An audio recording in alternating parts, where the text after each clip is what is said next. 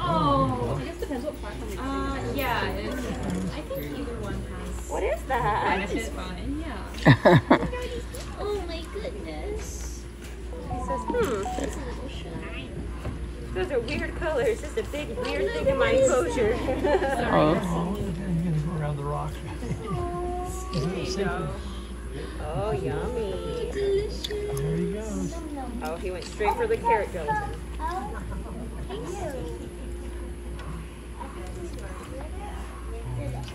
Wants first. It's on their online. Yes, please. So I'm gonna do this.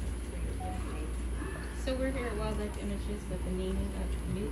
And this one is Louis. And how did they get the name? I'm just gonna zoom in here. They, Terri Irwin yeah, the naming rights on an online auction for our Saving Wildlife. Yeah, this here is uh, so and then our other otter in our otter house is Mitch. Okay.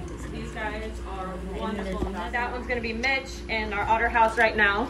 Um, we decided to auction off their names at our Saving Wildlife event, and so um, they are being they were named uh, for Terri Irwin's um, director of Australia Zoo and his husband. So they are going to be um, in remembrance of them. They're going to be a good shout out for them.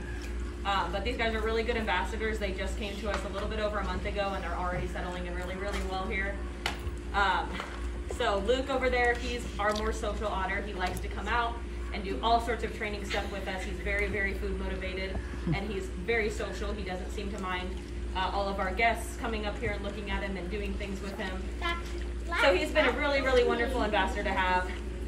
And then Mitch is working on building up his confidence right now, just like all of us. We are either um, extroverted or introverted, and uh, Luke just happens to be a lot more extroverted, and um, Mitch happens to be introverted. And so we're working on getting him to um, open up and start coming out to us. And he's doing really, really good with that as well. Um, especially, he's got a few people that have been working with him uh, almost every single day. So he comes out now and gets from their tongs. They'll do some simple behaviors for us, like targeting um, which Luke here is an amazing uh, example of eating.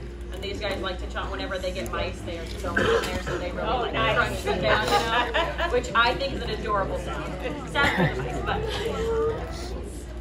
oh, he's really loving that big chunk right there. He's trying. He's gonna work it down.